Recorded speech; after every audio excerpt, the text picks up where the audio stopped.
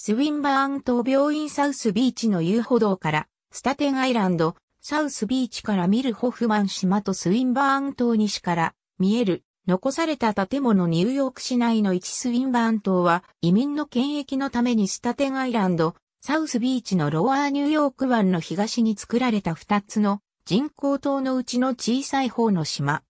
19世紀の起きた数回のコレラ流行の後、連邦政府は船で到着し、伝染病を患っている移民に対して、隔離地域としての役割を果たすスウィンバーン島とホフマン島を建造した。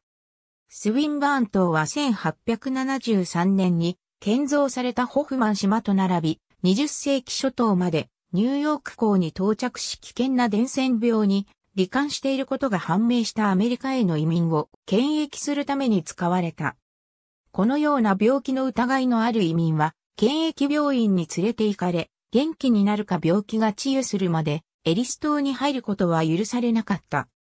この島は1910年から11年にアメリカで最後のコレラ発生の時に患者を検疫するために使われ、この発生はハンブルクアメリカン船の船であるモルトケのナポリからの乗客から始まった。最初に建造されたホフマン島の約1マイル南に2番目に建設された。滑走場が島内にある。もともとはディックス島と呼ばれていたが、南北戦争中の軍医であるジョンス・ウィンバーン博士に敬意を表して改名された。第一次世界大戦中は移民が減少した。その後アメリカでは1923年に移民法が成立し、南東ヨーロッパからの移民を大幅に減らした。この時までに、首都州は感染症を制御する他の方法を習得したため、検疫施設はほとんど使われなかった。